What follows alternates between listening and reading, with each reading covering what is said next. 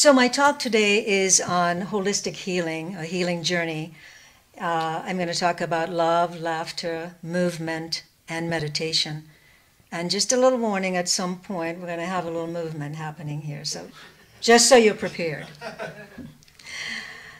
So, love. We're all familiar with the phrase, you know, love yourself. We hear it, we read it, we're told our whole lives. First, you have to love yourself, you know, before anything else can work in this world. But what does this mean when it comes to healing ourselves? This idea took me on my own journey to heal naturally. Once diagnosed with an autoimmune disease, I initially went to denial. Isn't that where we first go, denial? No, not me. and I carried on with my life as though everything was normal. But I soon realized that this was not true, and the pain and the changes in my body couldn't be ignored. Well, the next step was I became angry because, hey, I'd followed all the rules. I ate a good diet, I exercised, I meditated. But, so this doesn't happen to people like us, right? but despite my healthy approach, this disease had made itself well known. So, next was the decision to listen to my gut instincts and do some research on autoimmune diseases. Well, to the dismay of my doctor, who said, there's only one option conventional medicine. Now, there'll be some side effects, but, and we can't promise anything. well, that didn't go over well with me. So I said, okay, I'll call you later. I'll make another appointment. And I went out to my car. I remember closing the door. And I sat in there and I screamed really loud. And I go, why me? Why me? Well, after that burst of anger, and after a few months of research and applying some of the alternative approach I had, the information I'd gotten, I felt some relief, but it wasn't complete. So I sat in meditation, which is my other go to tool in my toolbox. And while I was meditating, the words love yourself kept flashing, and I thought, okay, was this uh, something that is still left over from my 60s, you know? you guys, you guys know what I'm talking about. I mean, this kept flashing. It was, you know, lights around it, and it's like, love yourself, love yourself. Well, finally, I thought, well, wait a minute. I do love myself. So, so what does this mean for me right now, where I am? It was at that moment that I realized, well, okay, I had pushed myself to limits physically and otherwise all throughout my life. I was a strong, get it done kind of person. And any pain or discomfort was always met with, eh, just ignore it and keep moving, it'll go away. But I could see now that I needed to accept my pain. That was the other thing, you know, when we have something that we consider wrong, instead of accepting it and looking at it and moving through it, we tend to, you know, push it away. If we ignore it, it won't happen. It's not real. And with that understanding, I had to open myself up to the messages that my disease was trying to communicate with me because it was. The very first time I had some pain, it was trying to tell me, don't do that anymore, okay? You know, don't lift that, don't move this. And I ignored that, but there was always a message. Our body talks to us, communicates with us. So I figured, okay, what the heck? I'll allow myself to feel the discomfort and you know, just focus on the areas of my body that was crying out for love and attention, and then applied the information I was getting. Because that's the other thing. Once I focused, I was getting information that was good for me. And this was all for my own healing protocol. So, by taking the time to tune in, being gentle with myself, and trusting in the guidance that's when I was able to begin to heal.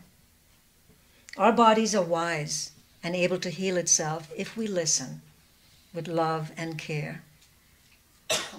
So, the messages for me was about food being my medicine, and I love to eat. I mean, I ate anything and everything on the planet before my diagnosis. And uh, but what helped me a lot because I go out with my friends and they're like, "How come you can pass up that chocolate cake or the sugar or this or that?" And I said, "I have this mantra I repeat to myself all the time: Food is my medicine." When I keep saying that over and over again, it really allows me to say no to the things that are not good for me. So, food is my medicine. You guys might come up with your own mantra. Ah, laughter. I must say that my sense of humor has always kept me from falling off the edge. as well as, uh, you know, good dark chocolate. They both stimulate the feel good endorphins in our bodies. So, laughter, dark chocolate, maybe a little bit of both. um, and this, this helps us to feel elated. This process is known to alleviate pain and can move us towards healing. You guys know what I'm talking about, those good endorphins, right? You've had a good belly laugh once in a while. So I love technology. You know, I, I used to kind of like, ah, not for me. But I love that you can Google anything now. So I thought, well, I need to have a couple of jokes here because I never remember the ones I'm told. so here we go. We can blame this on Google. Um, so this is a physics joke. what did Donald Duck say in his physics class? Anybody? Hey, quark, quark, that's it. Yay. 10 points back there. How about this next one? Where does bad light end up? Bad light. Where does bad light end up? In a prison.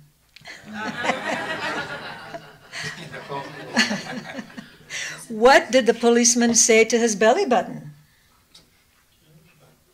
You're under a vest. Okay, last one, I promise.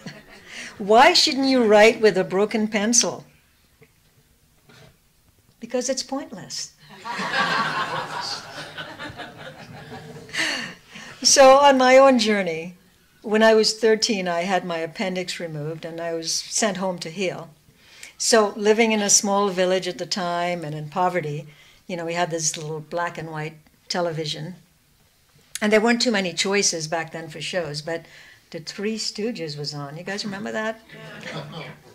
You're giving away your age if you remember that. and so it seemed popular amongst, you know, everyone in the village at the time. So here I am with my surgery, we're lying on a mattress with my siblings on the floor, and we'd watch the Three Stooges every night. I would laugh so hard. I mean, I had to literally hold on to my scar and my stomach so I wouldn't, you know, burst the stitches. But within a few days, I was able to move with more freedom. And my checkup revealed that I had healed even faster than expected. So now, when I am having a flare up, or sometimes, every once in a while, I'm struggling to open even a water bottle or, you know, walk comfortably. I listen to comedy radio. I have that on in my car. Or I, I watch a funny film. So laughter is amazing. Don't forget to laugh. I mean, to me, the most important thing is I've learned to laugh at myself. And I even use the laughter when I get up in the morning and things aren't working well and I'm trying to go up the steps, and so I make a little song out of it or a little dance. and then I laugh at how silly I am. And believe it or not, that helps because it creates all these good endorphins that flows through our bodies. So love and laughter. And I'm sure you guys remember that many, many books have been written on laughter and healing. And uh, you probably recall Bernie Siegel, Dr. Bernie Siegel. Yeah, one of his books was called Humor and Healing. Um, so if you haven't or you need to, you can uh, check that out. So, next on the agenda is movement. So, movement has always been a big part of my life. Most of my life, I would walk long distances because, you know, where I grew up, we didn't have cars all the time, maybe a bicycle here or there. Um, so you walked all through the village. You walked wherever you were going, walked through the sugarcane fields. And so I was always walking, and then I later on in my life when I came here, I got into running or dancing. I just always loved movement. I mean, it was it was second nature to me. And when I was diagnosed with uh, rheumatoid and osteoarthritis, and my joints were sending strong messages that I could no longer manipulate my body, keyword there, manipulate my body, to continue the same intensity of movements. Well, this was the most difficult part of my diagnosis to accept. After all, moving my body not only kept me strong, but also it really helped my mind clear and de stress. And that has, is really one of the biggest things for me. When we move and we sweat a little bit or we get the blood circulating, it really clears your mind. And uh, so I sat in silence, tuned into my body, and I said, There's no way that I can stop moving. What am I going to do if I can't continue to do all these things that I've done in my life? And so a new way of continuing to move just started to emerge this picture like, oh, you don't have to stop. You just have to find a different way that now works for you to move your body. And so I was like, okay, this is awesome. And I really began to listen at that moment. And so what I learned to do is to change the intensity and the length of time that I move my body. So walking or hiking was maybe a shorter time frame.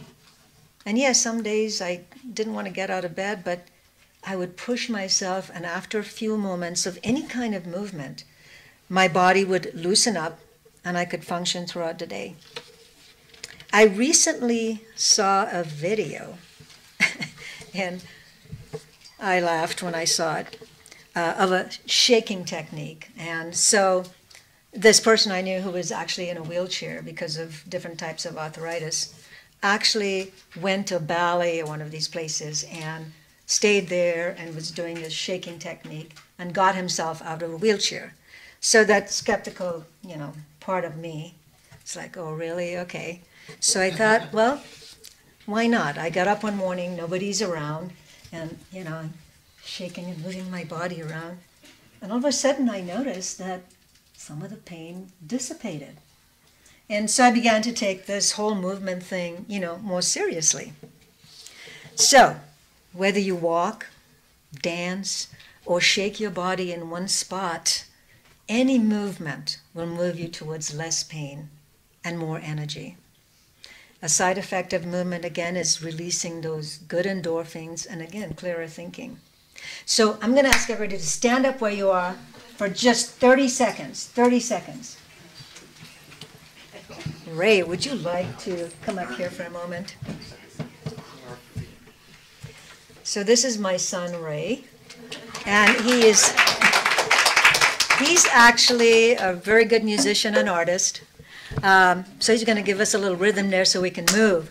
So if you want to stand in one spot, all right, let's go. Keep moving, shaking, moving your hands, elbows, or you could, you know, you could uh, do a little bit of that, you know. all right, Joe, come on. I know you can do better than that. Woohoo! All right. Thank you, Leslie. Doesn't that feel good? Yeah. All right, Rainbow. All right, you watch afterwards. Any pain you have will dissipate. Woo! Yeah, you too. All right. How you guys feeling? Woohoo! All right, one last big one. Come on. One last one. Yeah.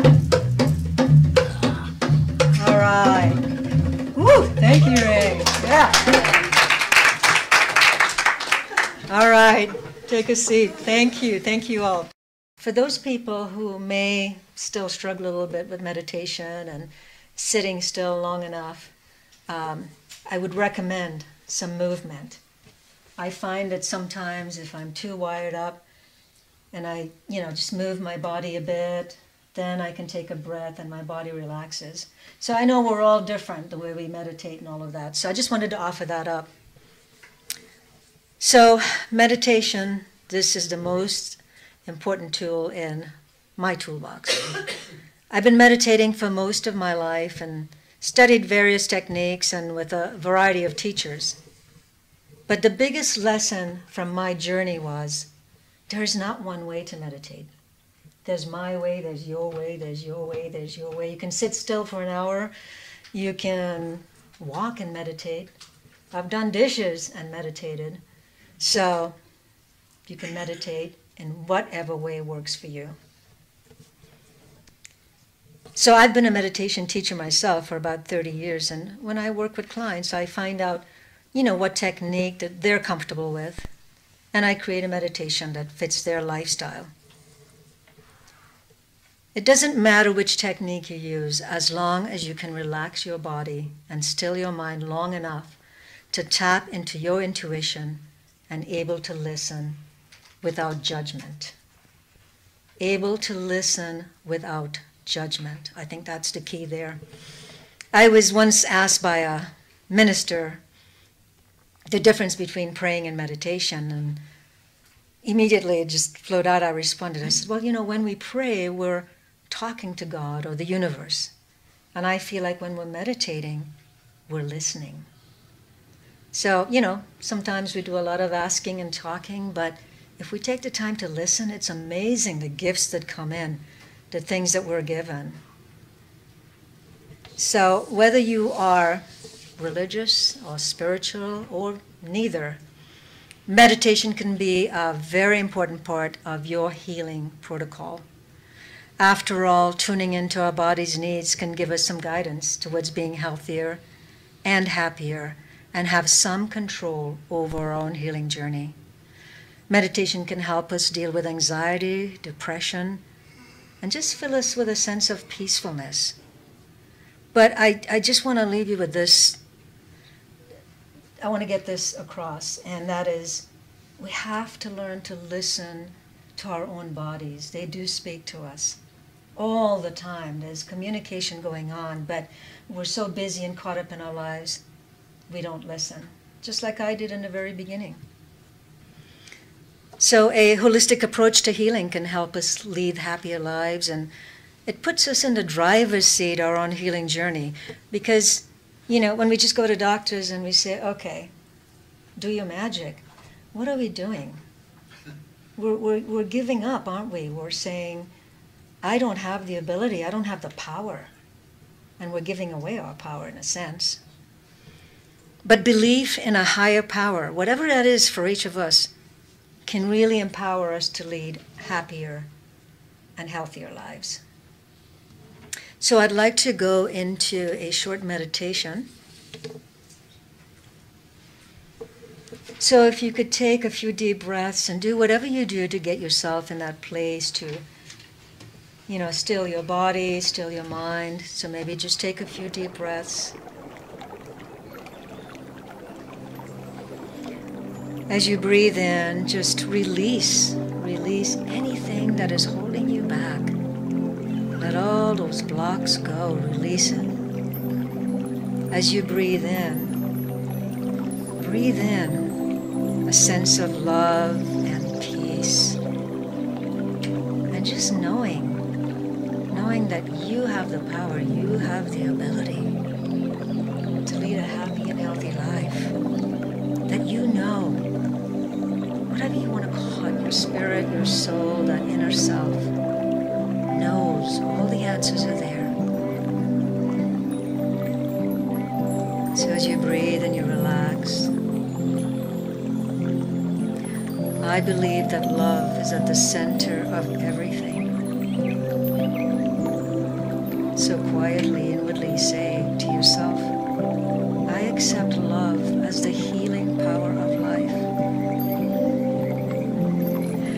I permit love to reach out from my heart center to all parts of my body that needs healing.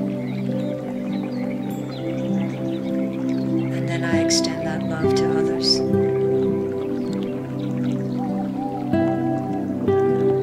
I trust in the guidance of love because I believe it is the power of good in the universe.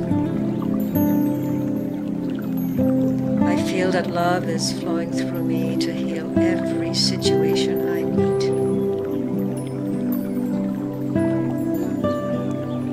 Love opens the way before me and makes it perfect. Love forgives everything, it purifies everything. Love converts weakness into strength, fear into faith, and nurtures us as we move forward